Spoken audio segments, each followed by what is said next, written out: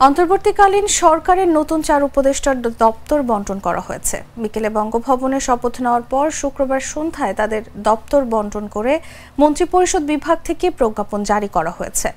অর্থনীতিবিদ ওয়াহিদ উদ্দিন মাহমুদকে পরিকল্পনা মন্ত্রণালয় ও শিক্ষা মন্ত্রণালয়ের উপদেষ্টা করা হয়েছে। সাবেক মন্ত্রিপরিষদ সচিব আলী ইমাম মজুমদারকে প্রধান উপদেষ্টার কার্যালয়ে সংযুক্ত করা হয়েছে। এছাড়া সাবেক সচিব মোহাম্মদ ফাউজুল কবির খানকে বিদ্যুৎ, জ্বালানি ও খনিজ সম্পদ মন্ত্রণালয়, সড়ক পরিবহন ও সেতু মন্ত্রণালয় এবং রেলপথ মন্ত্রণালয়ের উপদেষ্টা নিয়োগ দেওয়া হয়েছে।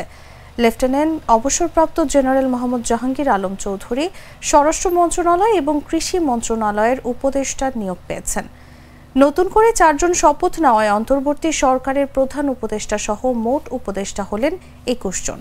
বৈষম্যবিরোধী ছাত্র আন্দোলনের মুখে গত পাঁচ আগস্ট প্রধানমন্ত্রীর পদ থেকে পদত্যাগ করে দেশ ছাড়েন শেখ হাসিনা।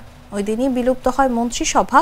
পরদিন ছয় আগস্ট দ্বাদশ জাতীয় সংসদ ভেঙে দেন রাষ্ট্রপতি।